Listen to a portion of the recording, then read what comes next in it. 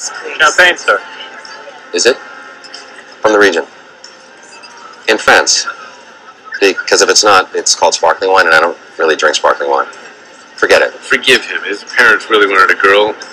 Never got over it. Wait a minute, you could taste the difference. I'm not being a snob.